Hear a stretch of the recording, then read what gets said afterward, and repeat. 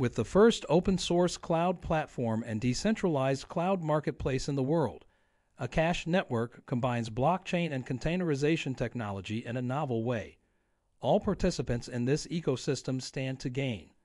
The governance and security of the Akash crypto ecosystem are just two of the many functions performed by the multi utility AKT token. So let's start with what is Akash Network. Akash Network promotes itself as the Airbnb for cloud computing and assists Web3 developers in deploying decentralized applications with the least amount of workload. Additionally, Akash Network offers some of the most affordable DApp deployment solutions because prices are roughly one third of those of centralized alternatives like Microsoft Azure or Amazon Web Services. The open source Docker engine and container technology are used by Akash Network. The project leverages 85% of underutilized cloud capacity in global data centers by applying these technologies.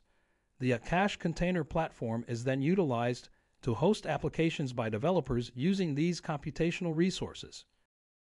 Okay, but how exactly does Akash network work?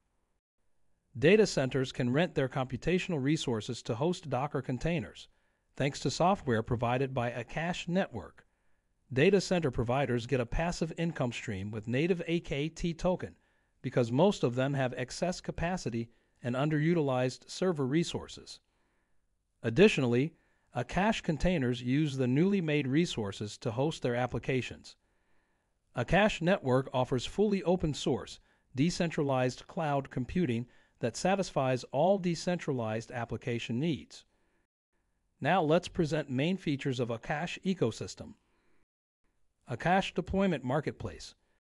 The Akash Marketplace, a Cosmos SDK application using Tendermint, is a decentralized market running on the Akash blockchain.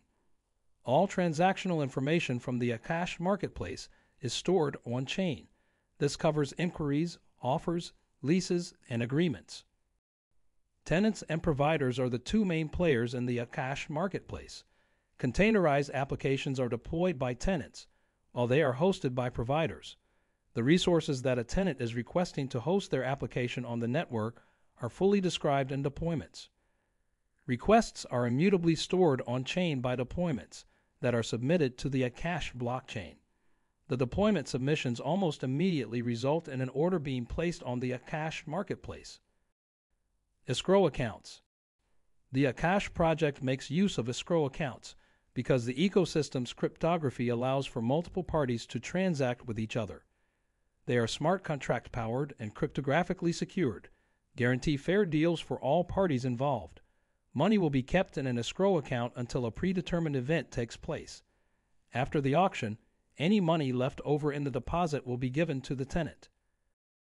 Akash Super Mini Anyone can generate a passive income using the Akash token and the Akash Super Mini, thanks to its unique ecosystem. The Akash Super Mini is marketed as the most powerful portable supercomputer and claims users can begin earning AKT tokens in few easy steps. Users don't need a complex setup process or a deep understanding of technology to plug in and use Akash to Cloud to become an Akash node. The Akash Super Mini offers users the opportunity to become cloud providers, run application or machine learning workloads, or provide any unused computational resources in exchange for AKT tokens. In conclusion, Akash Network, the first open source decentralized cloud, enables superior application deployments at a low cost. These application deployments are also scalable and efficient making them appropriate for thriving industries. This includes artificial intelligence, machine learning, and DeFi. So, that's the end of the video around everything about Akash network and its token. Now, if you have found the content helpful, don't forget to give this video a like and subscribe to our channel for more content like this. Thanks for watching and see you in the next video. Until then, goodbye.